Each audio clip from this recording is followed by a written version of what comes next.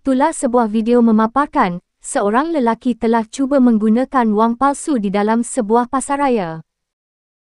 Pada awalnya, lelaki tersebut masuk ke dalam kedai untuk membeli barang, namun sebaik sahaja mahu membayar, lelaki tersebut telah menghulurkan wang kertas RM100.